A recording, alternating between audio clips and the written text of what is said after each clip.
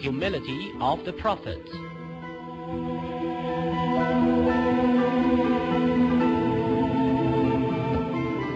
The caravan had been moving for hours, and the signs of exhaustion were quite apparent among the riders. Oh, we are tired now. I don't know. I don't know why water can't be found anywhere here. If we find any water, we should make preparations for offering prayers immediately. Oh, look there! Water! Water has been found!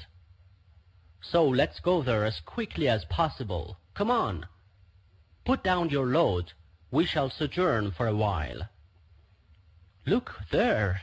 How eagerly the Prophet is approaching the water. But what happened?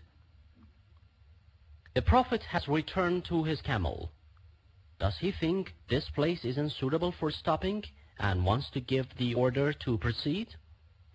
One of the men said, I don't know. What should we do now?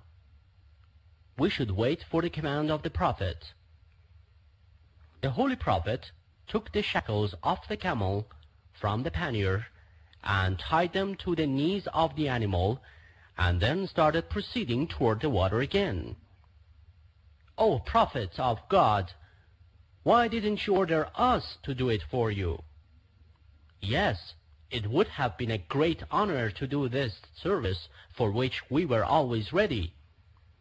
And the Holy Prophet answered, Never ask for help from others in doing what you must do yourself, and don't ever rely on them even if it is something small, like a piece of stick for brushing teeth.